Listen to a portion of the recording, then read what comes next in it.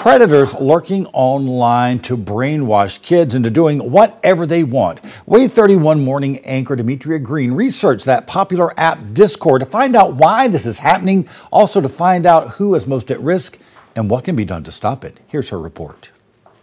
I want to warn you the details in this story are unsettling. Adults looking for notoriety online, forcing kids, who could be anyone's, to do the unthinkable from cutting themselves to beheading animals and even urging them to take their own life.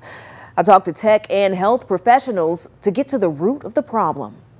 Parents need to be aware of this. Parents need to be ahead of this. The internet is not a safe place. Social media app Discord touted as a place to hang out, play, and chat.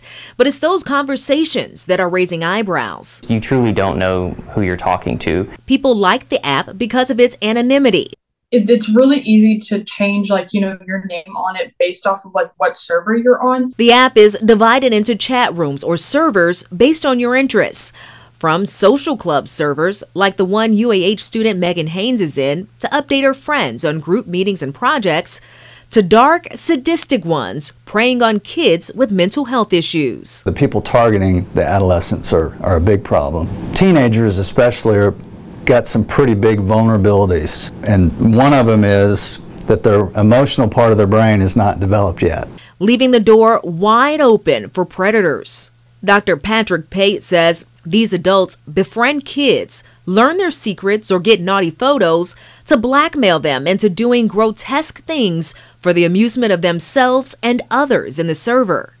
You're probably thinking the site would kick those bad members offline, but Dr. Pate says it's not that simple. There are things you can do to make it because uh, harder to track you because you don't have to include your real name. You don't have to give any personal information when you make a, a Discord account. And he says even though the company logs and tracks everything, they are not legally bound to share that information with law enforcement. So essentially, it's a predator playground.